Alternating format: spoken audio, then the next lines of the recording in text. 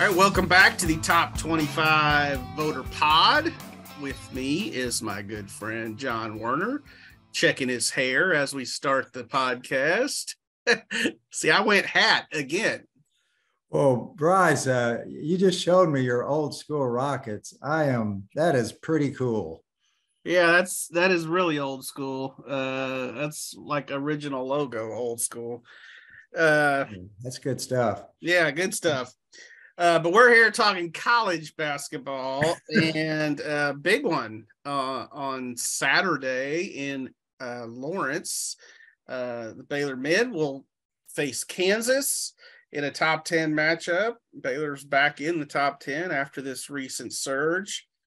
The Bears won the first meeting 75 to 69 uh, in January at the Ferrell Center. So, John, how do you see the rematch coming out? Well, as we all know, it's really hard to win at Allen Fieldhouse, but Baylor's won 10 of its last 11. They're playing really well. Uh, huge lift from a Jonathan Tchamwa Tchatchoua. Uh, Who, by, by the way, has now gone back to the original uh, way everybody was saying it. Apparently, he was like Americanizing it for everyone to try to make it easier, but well, I mean, we learned it, Jonathan Chamuchachua. So yeah, let's say it like that. Yeah, I think I got the pronunciation right. Yeah, I think um, you did. Yeah, but we, we better check with him, you know, in the next couple days, see if anything's changed. hey man, I I understand. Uh, you know, Keem Olajuwon went by Akeem with an A for oh. half his career, and then uh, changed it to added an H to to the to his name. So yeah, that really threw me off. I don't know about you. Go on. Yeah. Anyway, uh, but but yeah, I, I, tell you, the Bears. I think they're just really gelling. Um, I, I, wrote a column that ran today about you know last year they were limping into March. They had a bunch of injuries. You know, of course, Everyday Jon was out, Cryer was out. This year, everybody's healthy. They've gotten a big boost from John. And uh, I think they could win Saturday. I think they've got a deeper bench than Kansas. Now, I'm not going to go out and say they are going to win, but I think they have a really good chance. They've only won there once ever. Uh, they're one in 19 in Lawrence. So, I mean, the odds are probably against them. But man, I, I just like the way they're playing. Uh, you know, they're they're a really cohesive team right now, offense, defense. Uh, I, they're really looking good. Yeah, I'll play devil's advocate here. Uh, Kansas has only lost once all year in Allen Fieldhouse. Now, that loss that they had, they got their butts handed to them by yeah. TCU. Um, I don't see that happening. Um, I think it's close game either way, who, mm-hmm. whoever wins um, as many of the games in the Big 12 tend to be. Um, so you know, in that case, it probably comes down to you know whoever makes shots, makes plays, you know, in the closing minutes. Uh, Baylor's been good in that regard, but Kansas is playing really well right now too. They've yeah. won three in a row. Um, they had that stretch uh, in the midst of when they lost to Baylor, where they lost uh, three in a row. Um, but if you look at that stretch, they actually played four ranked Big 12 teams in a row. Now that's the nature of the beast in the Big 12 and this schedule. Uh, but you know, it they're not a, like um a vintage Kansas team, I would mm-hmm. I would say, but they're still pretty good. And so I think it's gonna be a tough game for Baylor to, to win there. Yeah. Not saying they can't, obviously, but um, playing at home, I, I, like the Jayhawks in this game. Yeah. Um, that said, you know, like I said, it'll probably just come down to who makes shots at the end. And I tell you, lately, it seems like one of those big three guards of Baylor has been stepping up each game. This last game, it was LJ uh, Cryer. Uh, you know, making teardrops from the outside. you like those, huh? Yeah. Uh, and then yeah. the game before that, it was Flagler. I mean, obviously, Keyonte George is always, uh, you know, capable of big games. So should be a fun one, no doubt. Um, so as we mentioned, Baylor's on a pretty good run, 10 out of 11. Um, the last four by an average of 13 points, uh, coinciding with uh, the return of Jonathan Tchamwa Tchatchoua. Um, Good job. Yeah, thank you. so uh, now they are tied with Texas and Kansas uh, at nine and four in the Big 12 with five games to play. Um, but they also face probably, uh, not probably, by far the toughest schedule out of the three that are fighting there at the top. So, what do you feel like their chances are of a third straight Big 12 championship? Well, yeah, as we mentioned, the schedule, I, I don't think they're really good. Uh, here, here's what they have left. Okay, after Kansas, they're at K State on Tuesday. Uh, then they play Texas at home. They turn around on a big Monday and play at Oklahoma State, which is playing really well right now. And uh, then they come home and uh, uh, regular season finale against Iowa State. So that's extremely tough. Now here's Kansas's after Baylor. They go TCU, which is really reeling right now without Mike Miles. Yeah, and think about this: the Jayhawks will be out for blood after they got oh gosh after TCU handed it to them in Lawrence. Exactly, and okay, then they've got West Virginia and Tech at home, which you would think would be wins, and then they play at Texas.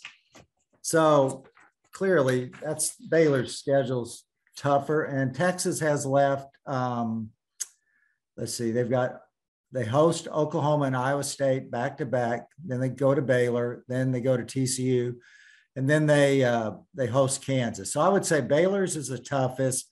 Texas is the second toughest, and Kansas is is the easiest among those three. All you know, the Big Twelve. It's it's nothing's easy. Not, it's not easy, but I, I, would say Kansas has the edge just going by the remaining schedule. Yeah, that that seems uh, valid for sure. When you mentioned those five games for Baylor, that's that's uh, a gauntlet. Um, they're you know not whoever wins it will have earned it. I wouldn't say yeah. you know, but if Baylor you know, manages to go four and one or something on this last five game stretch, they'll really have earned it because, uh, like yeah. you said, that's that's a pretty brutal murderer's row right there.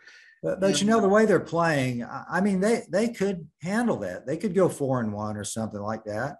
Uh, I mean they're they just seem to be peaking at the right time here. But but we'll see. You know, it's it's going to be hard. I will say, you know, and we've talked about this before, but uh, as the NCAA tournament committee, you know, starts to meet, you know, in in a few weeks, um, I think Texas, Baylor, Kansas, they all deserve to be on a pretty high seed line.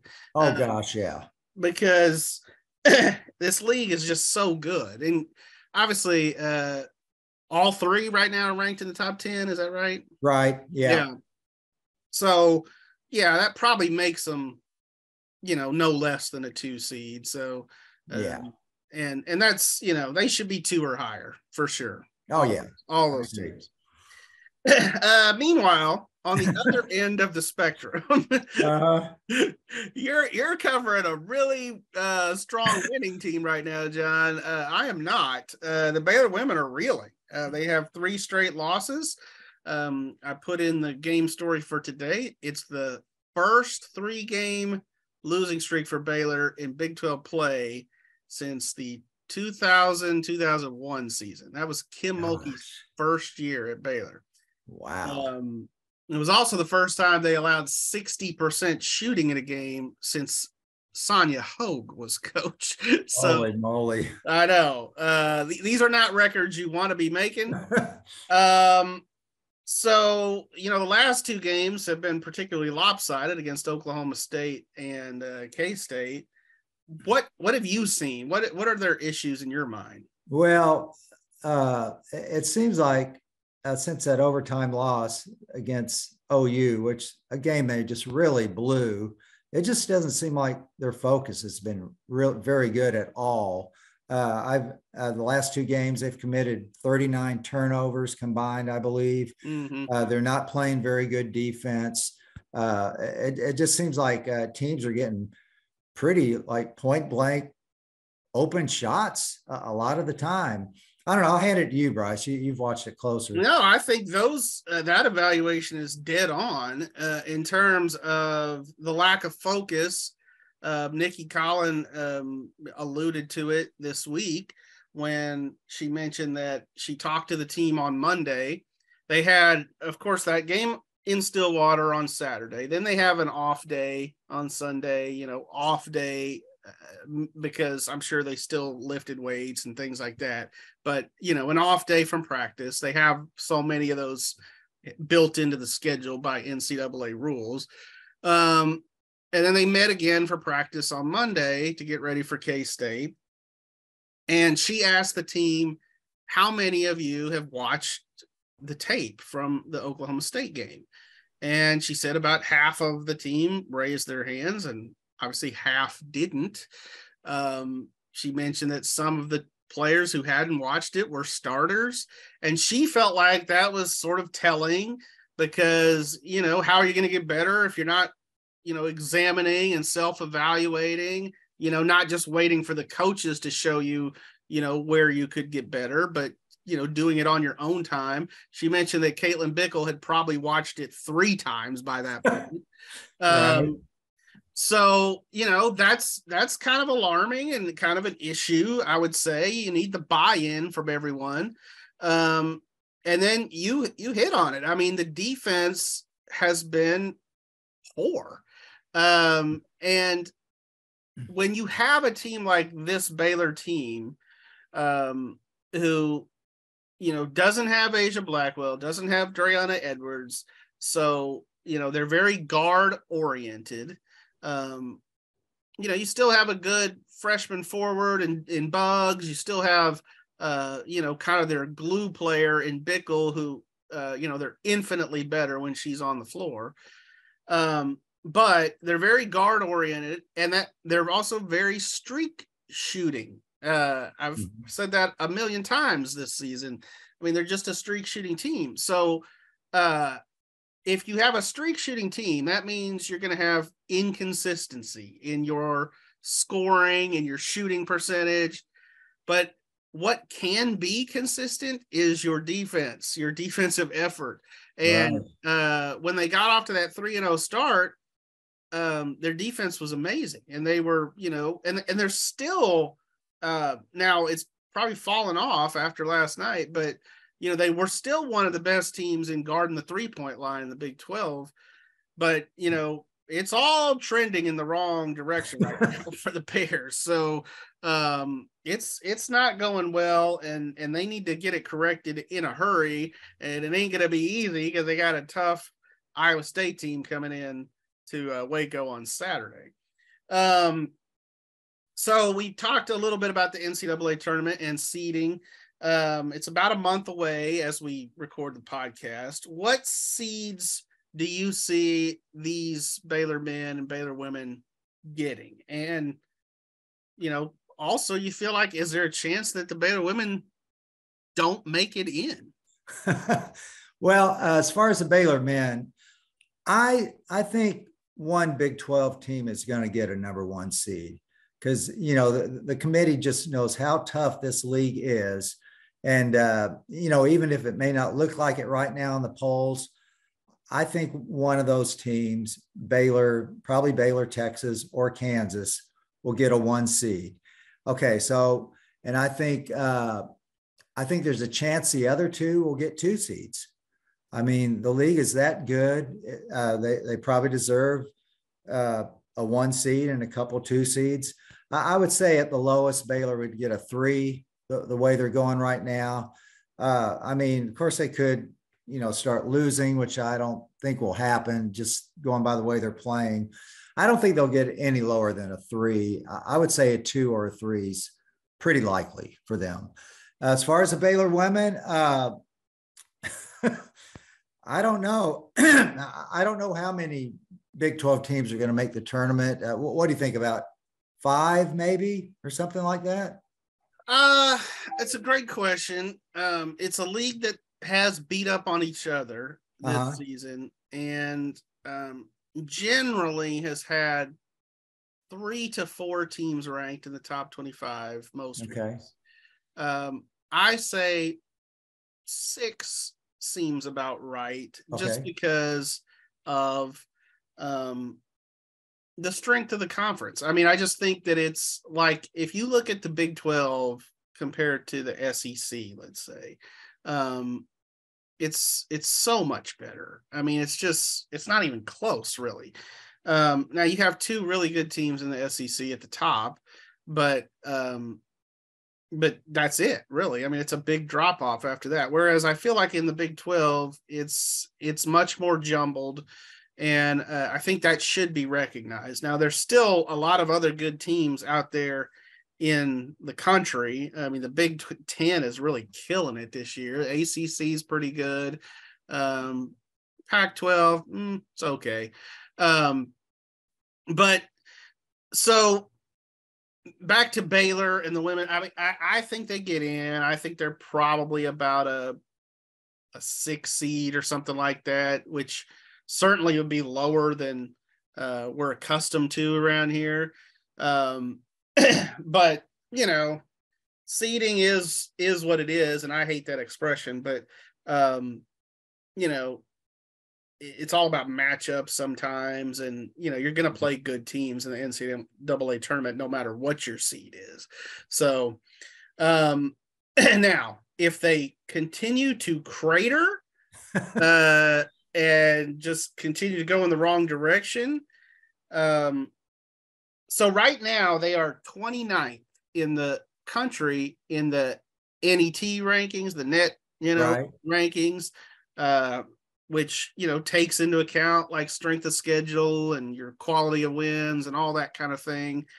Uh, 29th is pretty good, and in fact, it's better than several ranked teams. Uh, South Florida, Oklahoma, uh, Gonzaga are all ranked below Baylor in the in those net rankings. Baylor has played a good schedule, and they still, even at this point, John, lead that Big Twelve in ranked wins. They have four of them on the Wow. season.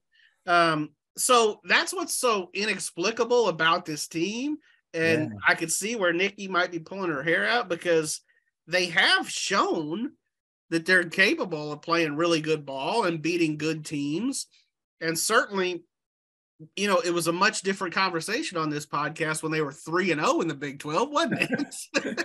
right. Exactly. so, uh if they crater, could they fall out? Yes. Uh I tend to think with 5 games to go, they're going to get it together and and get some wins, but it's uh it's not going to be easy. Um I mean they've got Iowa State on Saturday and that's Mhm. going to be a tough one. And you know the Cyclones will be looking for some vengeance after Baylor got them in Ames. And certainly Baylor's not playing well.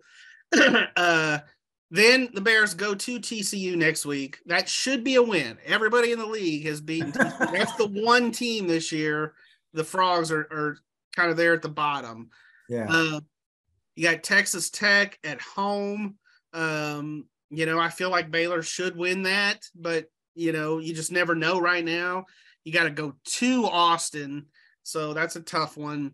And uh, then you got West Virginia at home, and West Virginia is a team that beat Baylor in Morgantown. So, um, you know, if Baylor can go three and two in that stretch, I feel like you know they're probably safely in. Uh, you know, especially if they win a game in the Big Twelve t- tournament and stuff.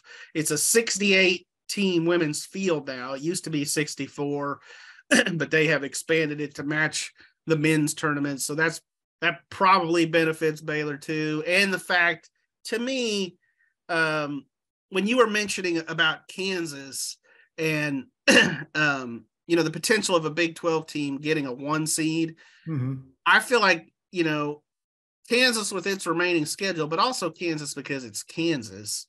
Um, Yeah. It doesn't know, hurt. yeah, the reigning national champions, you know, a blue blood program. If they're sitting there and the committee's deciding it, you know, they just say, ah, yeah, Kansas, that seems right. Yeah. Um, in much in the same way, it just would feel really weird if you don't have the Baylor women in the NCAA tournament. I mean, the run that they've had uh, for as long as they've had. That would be a huge fall. yeah, it really would be. And uh, but, uh, like you, I, I think they're probably going to make it. And they'll probably get it together enough. You know. Yeah, they've got two. You know, even without some of the players that they were hoping to have on this team, they've got too many um, good players, and you know, they've shown too much to just like go 0 and 5 in these last five games, you know. Yeah. I, I, just can't imagine they would lose to TCU I mean, that's not even uh you know, that shouldn't happen. But um they've certainly got to start playing better and we'll see how it plays out on Saturday. Uh, you know, and I would not expect there to be a really huge crowd at the Ferrell Center. I mean, I think fans are a little uh, you know, grumbly right now. Yeah, and and for a lot of good reason too. Sure. Yeah. I mean, this is not what they're accustomed to. And so, you know, Nicki Collen and her staff has some work to do. Uh all right, John. Well, um, you know, got some good ones coming up on Saturday. It should be a lot of fun. Well, this is a real fun time of year. Yeah. I mean, to me, this is kind of like when March Madness starts. Maybe, you know, kind of toward the end of February, you got conference races coming down to the wire and uh, this is when it just really is really fun to watch. Yeah, it, it's it's like March is already here. If you look at my calendar and all the crap that we got, you know. you know, I've always been impressed by that that big uh big calendar you have. Yeah, well, it's, I try it's like to. The, it's like the Magna Carta or something like that. I try to keep up with what's going on so we know yeah, and there's a lot of stuff going on. March is basically here. So uh you basketball fans, that should be good news. Yeah. All right. Thanks for tuning in. Okay. See, you, Bryce.